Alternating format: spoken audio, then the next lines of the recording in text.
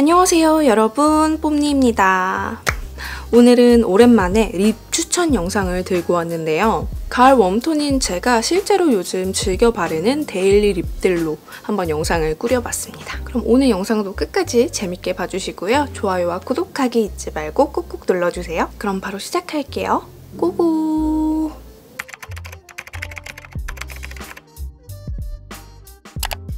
먼저 봄에도 daily로 잘 바르고 다녔던 비바이바닐라의 마르살라 필터 말린 장미 컬러에 brick 한 방울 더해진 듯한 느낌으로 daily로 바르기 좋은 컬러예요.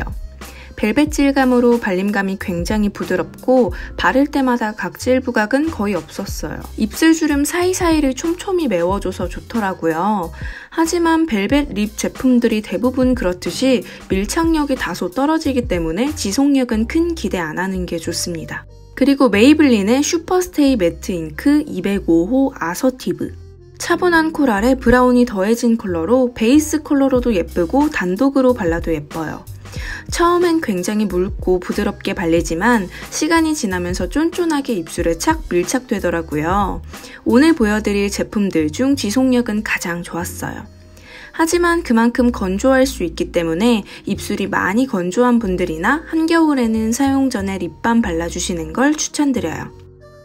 다음으로 삐아 블러 틴트 우정시 이름답게 blur 필터를 입힌 듯 포슬포슬 뽀송뽀송하게 표현되는 벨벳 제형이에요. 컬러는 말린 오렌지 brown 컬러지만 발색했을 때 생각보다 연하게 발색돼서 daily로 좋더라고요. 너무 deep하고 진한 컬러가 안 어울리는 분들께 추천드리는 제품이에요. 클리오 매드 벨벳 틴트 5호 글레이즈 모카 딱 모카 brown 컬러로 베이지 brown 컬러가 잘 어울리는 분들께 추천드리는 제품이에요.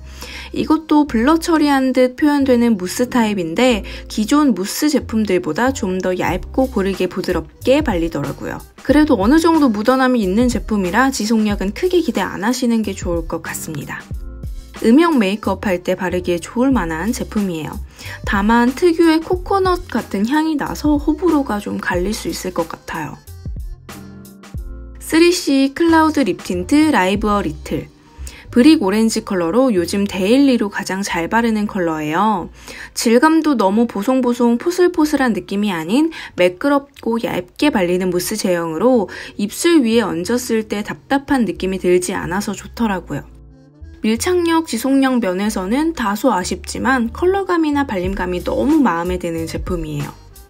마지막으로 라카 스무스 매트 립스틱 예스 차분한 chili red 컬러로 가을에 트렌치 코트나 라이더 자켓을 입을 때 포인트 주기 좋을 만한 컬러예요.